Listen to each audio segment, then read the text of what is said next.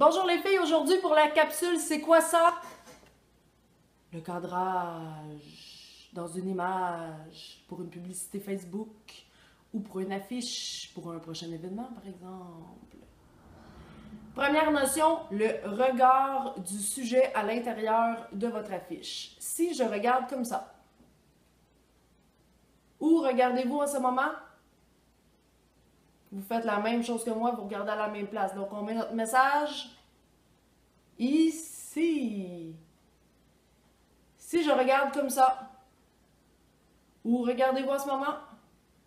À la même place que moi. Alors, on met le message ici. Ou du moins l'appel à l'action. Qu'est-ce qu'on veut qu'il se passe, là? Si je regarde comme ça, où regardez-vous en ce moment? Par là. Est-ce qu'on veut que les gens regardent en dehors de notre affiche qu'on a pris des heures à monter? Non. Faites attention parce que c'est très, très, très facile de perdre la, la, vue du lecteur.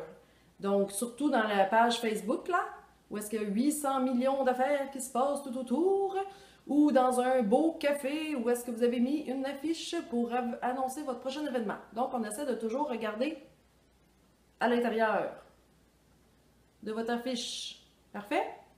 Prochaine chose, la règle des tiers. Ah ben non, je vais vous en parler dans une autre capsule.